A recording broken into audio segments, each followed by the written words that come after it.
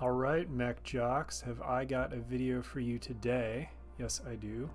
It is going to be a ranking of the medium Omnimechs that were originally debuted in Technical Readout 3050. I thought I would start out, I'm going to hopefully do all of the 3050 clan Omnimechs in a series of four videos. I thought I'd start with the mediums because I think that on average they're probably the best. Um, you know the assaults are good the heavies a lot of some of the some of the heavies are very good but some of the heavies are not so good. The mediums are consistently good. Like pretty much every one of the medium mechs is one where it's got a pretty awesome battlefield role to fill and it does a good job at it. I mean one of the things to say as kind of a preface to this is that the clans with their 3050 designs they really kind of set it up so that the medium mechs are kind of like, you know, just straight up better in almost every case than the light mechs, right? For every one of the light mechs, um, except like the Dasher, just because it's so fast, there's a medium mech that's going to basically fill a similar role and do a better job at it. And I'm going to only be rating the variants or the um, the configurations of these mechs that were available in 3050. If people clamor for it, I could do a separate rating of the later variants. There certainly are some very good ones. Okay, so the Fenris or Ice Ferret. Uh, this is the one that I'm going to rate the lowest out of these mechs, although it's really not bad. I'll give it a B minus for a letter grade. The thing about the Fenris, you know, it it's definitely a nice, fast, ground-based mech. It could have been five tons lighter and been kind of better than it is. And a lot of the configurations focus on kind of like one big long-range weapon, which is not a super ideal way to arm an 812 mech, I think. But okay, let's get started to the meat of the thing. So for each variant, or for each mech rather, I'm going to give, um, I'm going to rank two or three configurations of it. So I'm going to say which one I think is the best fighter overall, which one I think is the best deal for the battle value, which might be the same thing as the best fighter sometimes. And then for some mechs, I'll have an honorable mention if I think that there is a third uh, configuration that is worth a look for you best fighter for the Ice Ferret is the one that doesn't do that thing that I was just talking about, about having a single big long range weapon, but instead jams the thing full of medium pulse lasers. The Clan medium pulse laser is just a super good weapon for a fast unit to carry. And, you know, the, the Fenris D does an excellent job of being a vehicle for those medium pulse lasers. It's not going to have heat problems really, and in fact, it's kind of oversinked. Um, the anti-missile system is kind of unnecessary, as as anti-missile systems often are, but it's not detracting from anything about the mech. You know, it would have been nice to have a couple of extra, like maybe ER small lasers or something instead, but what are you going to do? This mech will move fast and it will hit reliably with a heavy duty punch for sure. Remember, the thing you got to remember about clan medium lasers, they're basically inner sphere large, large lasers in terms of the damage they do. So they do a lot of damage. There's a couple of things that I would criticize about this mech still, which is the reason why I give the Fenris a B minus instead of an A range grade. I mean, one thing to criticize about the Fenris, the clan mediums, they do tend to have this problem in this period. There's a little too much rear armor you know, this thing could have had 20 points of rear armor on the center, or excuse me, 20 points of front armor on the center torso. But instead, they decided to give it 8 points in the rear, which is like, why don't you just give it 7 in the rear and 20 in the front? I mean, 20 points of armor, there's a big difference between 19 and 20 points in Battletech. Um, so that's a criticism I have of it. You know, kind of another problem with the mech is the battle value is a little high for what you get, which is true for, I would say, all of the Fenrises. And that's another reason why I don't rate the design that highly. you know, in my experience, you just don't see a lot of Fenrises in tournament play. And the reason for that is that it is not a BV efficient design. The best deal for battle value is the B configuration. You know, it's got some nice stuff. It has an ER large laser, which is definitely a nice weapon. And it's got the heat sinks to use it at close range as well. You know, so it's a 10 point hit that you start hitting with at long distance and you can still use in close. And then it has 10 SRMs, and clan SRMs are extremely efficient weapons. You know, they're, they're the same as inner sphere SRMs in terms of their effect. So this thing packs the punch of like a commando, except that you have that large laser instead of a medium laser, right? And then it's got this small pulse laser for anti infantry. It's cheap compared with other decent Fenrises. So I think this is a fine design. It's not cheap enough, it's not effective enough for your BV that I would really necessarily play it in a tournament game if I was like trying to win, but it's definitely playable. Okay, the Nova or the Blackhawk. Now we're getting into stuff that is legitimately good, and there are some legit good variants of this mech. 585 so it has a classic medium mech movement profile. That's a really nice thing about it. I love 585 as a, as a way for mechs to move, especially in the 50 55 ton range. It, you know, it's it's gonna it's gonna move uh, in an effective way. It'll whatever its movement modes, it will be able to work up as much of a target movement modifier as it costs itself in attacker movement modifiers. So it's a very efficient mover.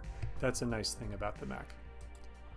The armor is also pretty nice, although that extra half ton that it leaves off would have been very nice to have, honestly. But it's actually not that big a deal because it comes off of the legs, and the legs do have 20 points on them. So really the mech is well armored. I would just criticize again why you got to put so much, in this case, armor on the rear side torsos right? Having the rear torsos have half as much armor as the front, you know, that's a lot. I mean, on the other hand, there is this dilemma when you're designing a, a 50 ton mech, right? You can either have five or more points in the rear torso, which you definitely want to have, or you can have 20 points in the front. So it's like a Scylla and Charybdis, right? You have a tough choice to make there. So I think the mech's armor setup is quite good. And you can see that for the best fighter, I've picked the Nova A. You know, this is just a killer long range cavalry mech. It has some short range capabilities as well with a medium pulse laser. And I was just talking, you know, clan medium pulse, always a good weapon. Not enough heat sinks, that's a problem. But I mean, you can you can make it work, right? It's not so few heat sinks that you can't make this mech work. It's kind of like you know, it's like a, I've, I've compared it a lot to the Inner Sphere Falconer, and I think that's a accurate comparison. It has kind of a similar combination of speed and long range punch that's very nice. The best deal for the battle value with the Blackhawk is a mech that mm, honestly it's not that great, which is the Nova B. Large pulse laser, so the large pulse laser is awesome, right? Best weapon in the game you know, no complaints there. Ultra AC5, hmm, not so awesome. Okay, but it's fine. You know, it's like you're not paying that much battle value for an Ultra AC5. It's it's not as it's not a very impressive weapon. And then it's got some short range stuff. You know, the ER small lasers, you know, that, that that's a useful weapon, right? That does that does as much damage as that Ultra AC5 will half the time. But, you know, overall, the fact that it packs a large pulse laser and it's not too expensive in terms of battle value makes it a pretty playable mech. And an honorable mention, you know, has to go to the Prime variant. All of those ER mediums, like I was just talking about, you know, clan medium lasers are like inner sphere large lasers. This thing hits like a ton of bricks. You know, it's not very heat efficient at all and a thing that one has to complain about here is just so much battle value for what you get. So it's not a mech that I would take again necessarily into a tournament situation. But if you're just playing a game that's not balanced by battle value or it's a fairly casual game or something, yeah, this thing, it's a beast, don't get me wrong. It's just maybe not the best deal for what you pay for it. And now we're getting into some designs that I think are just extremely efficient, extremely useful, have a ton of, you know, incredible roles on the field. The Dragonfly or the Viper, right? This is an A minus rated mech for me. And, you know, I don't know. Maybe it should have been an A. I, I just think this mech, it's got some variants that are amazing. It is for the clans a pretty unique design in this period because it has really the most amazing movement profile of any clan mech.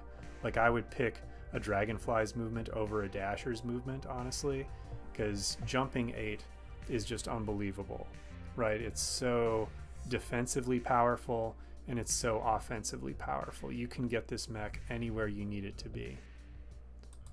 The best fighter is the Prime variant because it combines that jumping movement with medium pulse lasers. So this is a mech that you're going to hit with pretty easily even after you have jumped into an enemy's rear arc. Again, I have to complain a bit about how much extra armor is on the rear side torsos. I would have put 5 points on those rear side torsos and 15 on the front. But, you know, whatever. Other than that, there is very little to complain about with this mech. Again, it's got the useless, relatively useless anti-missile system that might protect you sometimes. Um, battle value wise, it's a, a, it's it's it's a good price for what you get. This is, you know, at 1450 battle value, I would pay that on this before I paid 1500 for that large pulse laser Blackhawk that we were just talking about. This is a nice mech. It's got pretty nice weapons. You know the armor is real solid for how heavy it is. And especially combined with that speed this is actually not a mech that will go down easy at all. It's going to be hard for your opponents to kill. In a lot of games they'll just give up on trying to kill this because they can't best deal for the battle value is the C variant you know this thing is a great deal 1340 battle value it's got two clan medium lasers. These are the ER ones, so not quite as amazing. But it's got a whole bunch of point blank range weapons, including three flamers. So, I mean, it could erase infantry, of course. But those are also really useful as crit seeking weapons against mechs and vehicles. This is a super nice mech. I took this in a tournament recently, and I couldn't have been more pleased with how it performed. For the battle value, it's a really awesome deal. So is the Prime variant, but this one I think is even a slightly better deal. An honorable mention goes to the A variant, which is the hardest hitting one in the sense that it's got the most kind of raw damage capability. It hits a little bit like a Blackhawk Prime, honestly. The heat sinks are light for what it's carrying, so you're gonna you're gonna be if you play this mech, you're gonna be riding the heat hot, right? You're to be putting a lot of heat on it one turn and jumping out of danger the next turn. That's how you would play it. Kind of like a classic Phoenix Hawk is often played. Um, but yeah, in terms of offensive power, this is a mech that you should take seriously. Battle value wise, it's kind of expensive for what you get. So I would maybe play this mech in a campaign setting instead of in a setting where you know you're playing kind of pickup games balanced by BV. But in terms of how hard it hits, it's a real danger. The Ryoken or Stormcrow, uh, named after Gandalf perhaps. You know, it won't surprise you to see that this mech is rated an A. Every, I mean, almost every version of this mech just kicks butt. This is a, this is a hardcore mech. This is a mech that has incredible high performance capabilities. And you're not going to go wrong picking one unless maybe you spend too much battle value on it. But you'll never be disappointed with how a Ryoken fights. Best fighter. You know, I've told you I like the medium pulse laser as a weapon for medium mechs if they move fast enough. Well, a Ryoken moves fast enough. It goes 6'9, so it's got good speed for a 55 tonner and it's got four of these medium pulse lasers. Um, so it's got nice offensive power. it looks like it's going to run a little hot at first, but it's actually not that bad because those Streak SRMs are very heat efficient. You know, you only gain heat from them if they hit.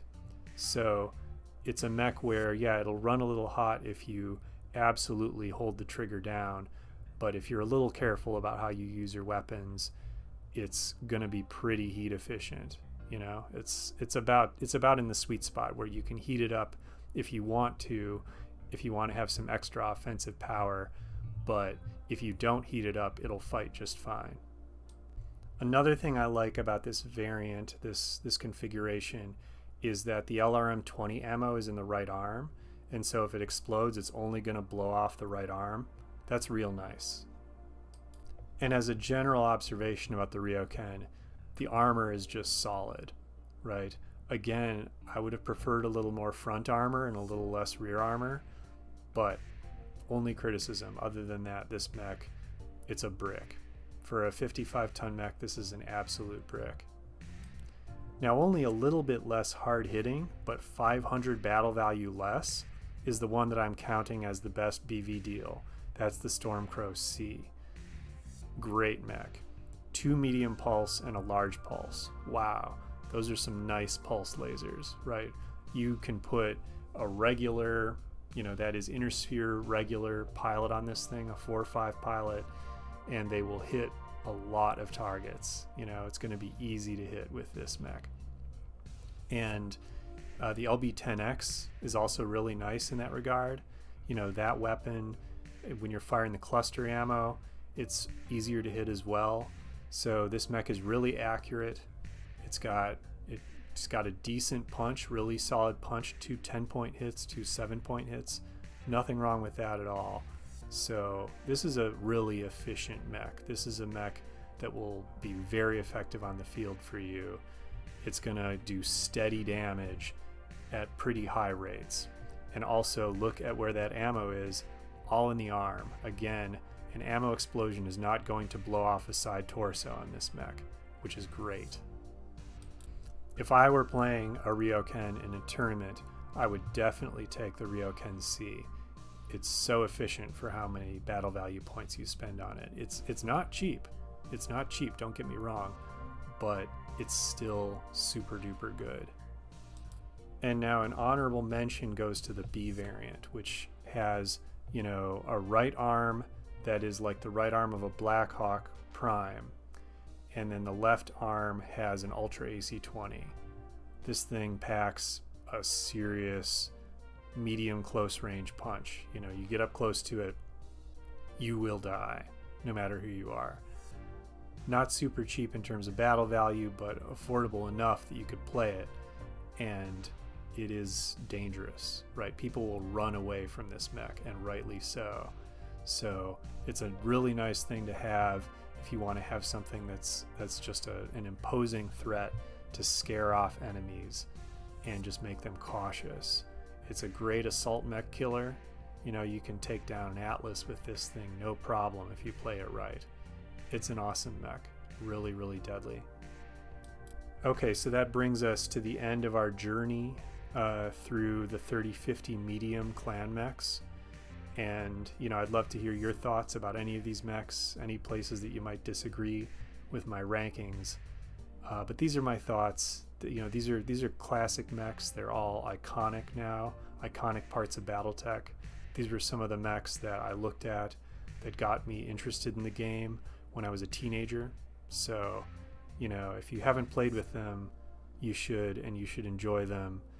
They make great enemies uh, for a game master to use in a campaign against the clans. Right? There's nothing more nail biting than playing a campaign game against the clans that's set in 3050. You know, it's terrifying facing the clans with inner sphere technology in that period. So these are mechs that are useful for all kinds of cool things you can do on the tabletop, and I highly recommend them.